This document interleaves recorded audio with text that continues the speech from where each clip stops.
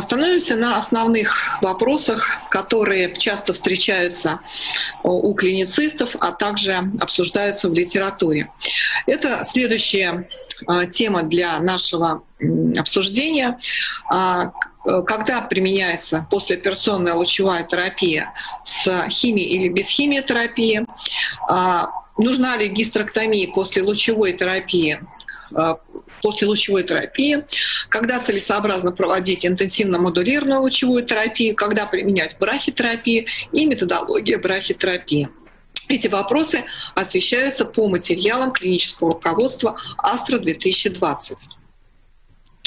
Таким образом, э, остановимся на первом этапе, э, на первом вопросе.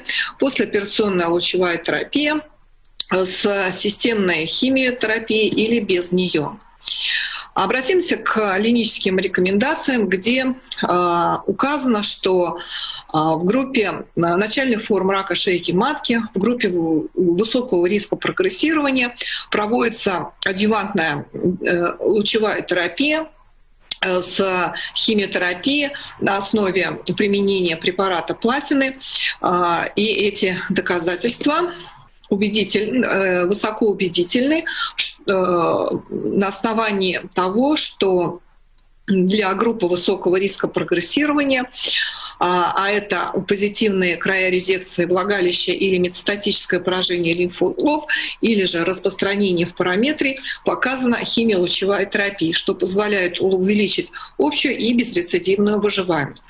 Рекомендовано проведение конформной лучевой терапии малого таза до 45-50 грей при фракционирования 1,8 грея с еженедельным введением цисплатина 40 мг на квадратный метр.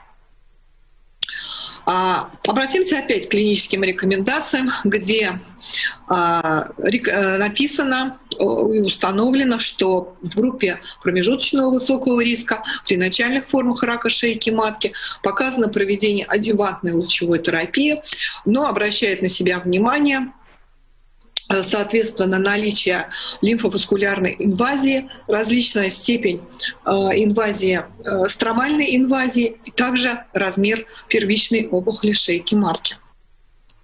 В исследовании ГОК-92 на группе 277 больных раком шейки матки, включая плоскоклеточный рак и аденокарциному, после радикальной гистерэктомии в группе промежуточного риска прогрессирования показано снижение Э, уровня прогрессирования на 47% при проведении адювантной лучевой терапии с приемлемой токсичностью 6,2% соответственно при третьей и четвертой степени осложнениях в сроках наблюдения 5 лет. Рекомендовано проведение конформной лучевой терапии малого таза до суммарных доз 45-50 грей при фракционировании за фракцию 1,8 грей или до 40-44 грей при фракционировании 2 грея за фракцию. Особое внимание хотелось бы э, уделить э, выявлению оккультного рака, э, скрытый инвазивный рак после тотальной гистерэктомии – который выявляется при а, гистологическом заключении.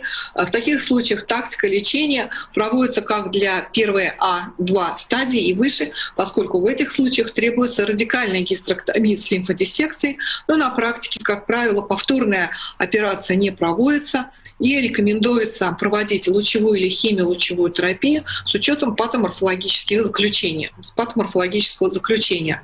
Несмотря на отсутствие перспективных данных, разумным подходом методом является лучевая терапия малого, доза, малого таза до суммарных доз 45-50 грей с последующей брахитерапией или дистанционное облучение при высоком риске прогрессирования выявленного дополнительного скрытого заболевания в зависимости от местоположения. Параллельно рассматривается химиотерапия а, в зависимости от факторов риска. Следующий вопрос. Нужна ли гистерэктомия после проведения лучевой или химиолучевой терапии? Обратимся к клиническим рекомендациям, где достаточно четко и убедительно показано, что для рака шейки матки 1 Б3 до четвертой стадии а, адъювантная гистерэктомия после проведения самостоятельной лучевой или химио лучевой терапии не рекомендуется.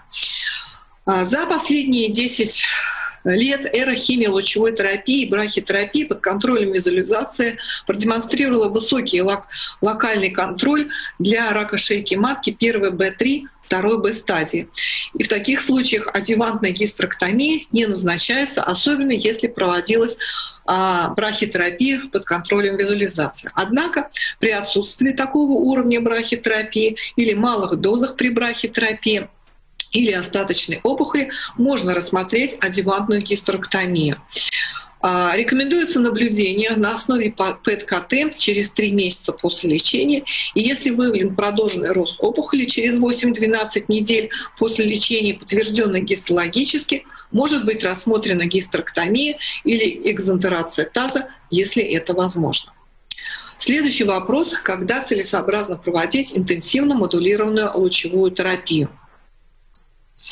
А, в рекомендациях четко отмечено, что эта технология а, лучевой терапии рекомендована при проведении послеоперационной лучевой терапии в лечении начальных форм рака шейки матки.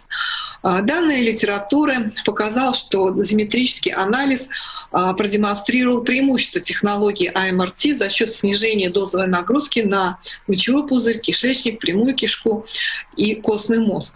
Единственное исследование третьей фазы РТОК 1203 где проводилось сравнительное исследование 3D э, лучевой терапии, то есть когда используется стандартное четырехпольное облучение и технологии АМРТ при проведении послеоперационной лучевой терапии начальных форм рака шейки и тела матки. Именно это исследование достоверно показало снижение уровня острой гастроинтестинальной токсичности и токсичности со стороны мочевыводящих путей при анализе симптомов на группе 278 больных на протяжении всего курса лечения от начала до его конца. А также ряд других исследований показали на основании ретроспективных своих результатов при сравнении 2D и 3D технологий по сравнению с АМРТ снижение как острых, так и поздних лучевых осложнений при проведении самостоятельной лучевой или химиолучевой терапии, включая облучение парартальной области. Но нет данных об увеличении выживаемости больных при использовании технологии АМРТ по сравнению с методиками 2D и 3D лучевой терапии. А, на что еще стоит обратить внимание при использовании технологии АМРТ?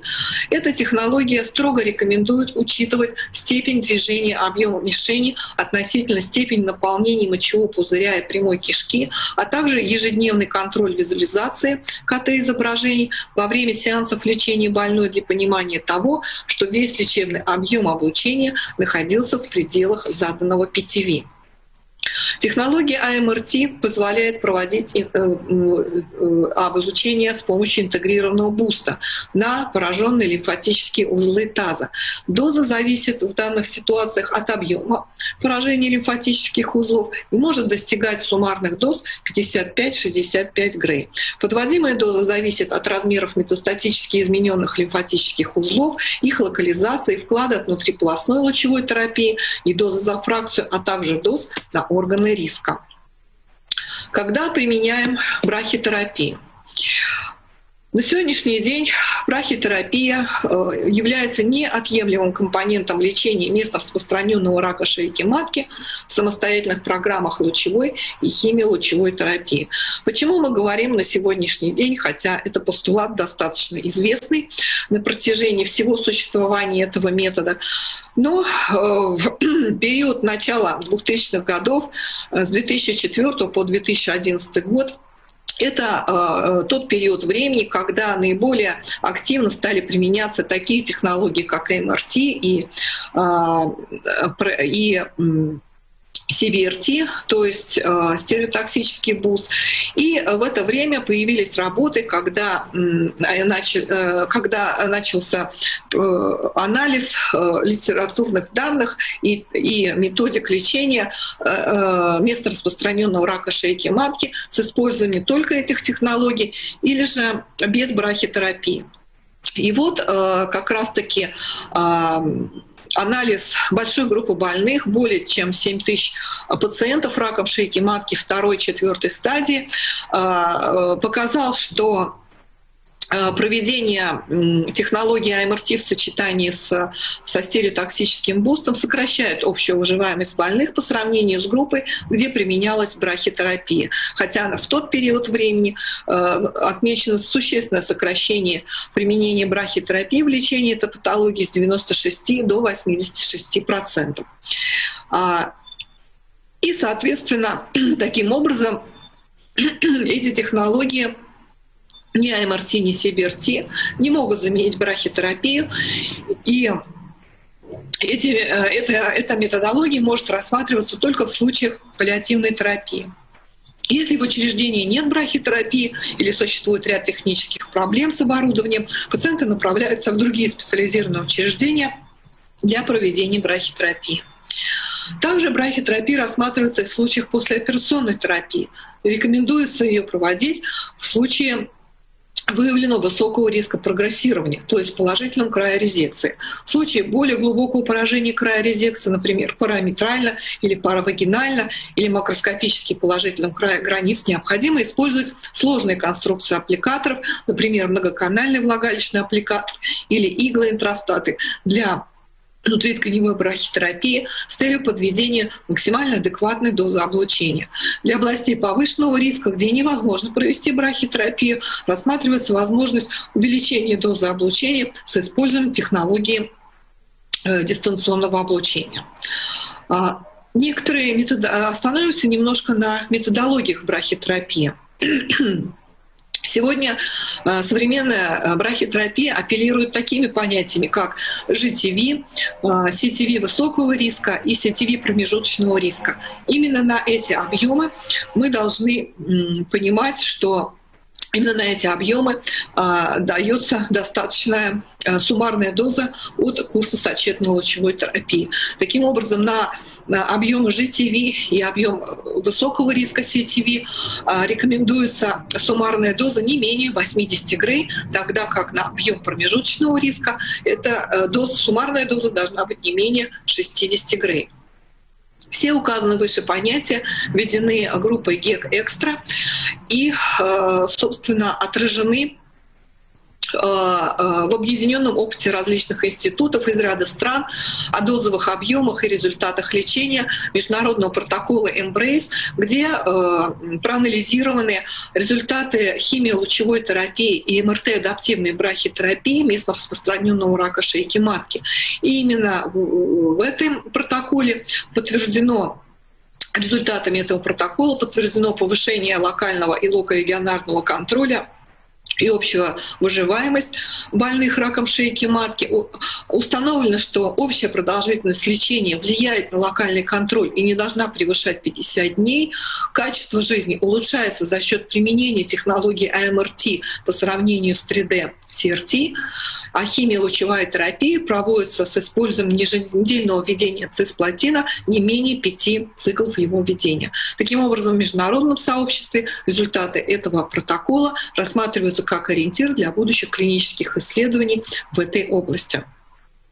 Сегодня нам предлагают э, производители, э, э, производители различные виды аппликаторов, а также сложные конструкции аппликаторов для проведения так называемой гибридной брахитерапии, то есть сочетание внутриполосной и внутритканевой брахитерапии, э, когда мы имеем большой объем опухоли, несимметричный объем опухоли и э, выходящий за пределы шейки матки. И в таком случае сложные такие конструкции аппликаторов позволяют оптимизировать дозовое покрытие объема мишени с допустимо высокими дозами с учетом нагрузки на органы риска.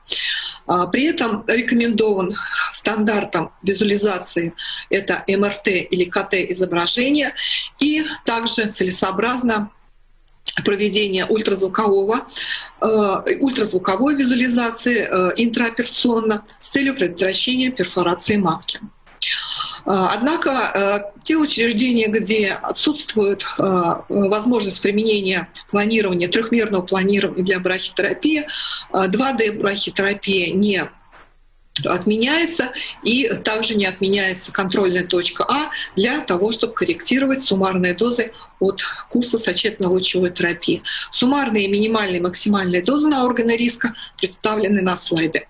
На слайде. Таким образом, лучевая терапия является неотъемлемой частью лечения места распространенного рака шейки матки, как в качестве адювантного лечения после операции при наличии факторов риска, так и в качестве первичного лечения, используемого в сочетании с химиотерапией, брахитерапией в первичном очаге. А, технология АМРТ и а, брахитерапии под контролем визуализации эффективна для снижения токсичности нормальных тканей, позволяют увеличить дозу на остаточный объем первичной опухоли в случае брахитерапии или метастатически пораженных лимфоузлов в случае применения технологии АМРТ. Все эти факторы привели к более безопасному и эффективному лечению женщин с этим заболеванием. На сегодняшний день я представляю новый проект Институт ядерной медицины, который открывается в Химках Московской области, а, где а, сконцентрированы все современные методы диагностики и лучевой и радионуклидной терапии. Это учреждение заявлено как экспертный центр полного цикла для диагностики и лечения онкологических заболеваний, центр компетенции для проведения образовательных практик, площадки для международных клинических исследований. Надеюсь, что именно это учреждение проявит себя очень перспективно и в будущем а, здесь появятся огромные возможности для работы специалистов высокого уровня. Спасибо за внимание.